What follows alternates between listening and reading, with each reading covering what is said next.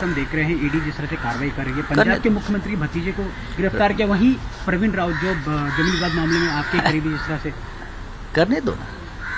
करने दो। चुनाव है चुनाव का मौसम है राजनीति है। जो भी करना है करने दो। मैं और अगर हमारे पास आते हैं तो हम भी उनको कोऑपरेट करेंगे स्वागत करेंगे चाय पिलाएँगे। आप आइए कोई मुझे प्रॉब्लम नहीं है। झूठ मत करना कोई बात नहीं। झूठ करेंगे तो भुगतना पड़ेगा सबको कोई भी हो। फिर कोई भी हो, देश में, अगर कोई झूठ का सहारा लेकर किसी को राजनीतिक मकसद पूरा करने में मदद करती है एजेंसी तो इस देश में सबको कीमत चुकानी पड़ती है। चाहे कोई अधिकारी हो या चाहे कोई नेता हो, सब जेल में गए हैं।